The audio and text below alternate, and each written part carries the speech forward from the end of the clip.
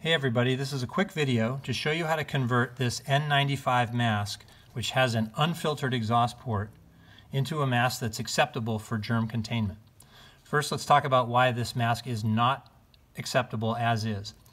The little flapper valve here over the exhaust port, you can see, is open to the outside air when you exhale.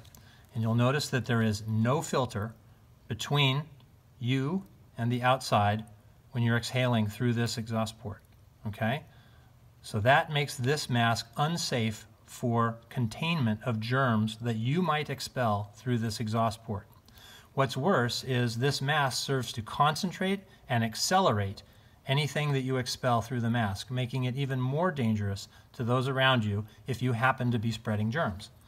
But don't despair. If you have one of these masks, I'm going to show you really quickly how to make it acceptable for disease containment. Okay? I'm going to use a couple inches of masking tape, which I've pre-cut here. This is about three and a half inches long and one inch wide. And I'm going to put this over the port, starting with the front of the port. I'm going to attach it to the vertical surface in front of the port. And then I'm going to wrap it around the side to cover the side opening of the port on both sides. All right. And then I'm going to fold down the sides of my tape that way and fold down the other side and then I'm going to fold the front across the top. Okay, I'm going to stick that down and then I'm going to take a one by one inch square of tape and just put it on the top there to make everything secure. There. Now I have taped over the exhaust port.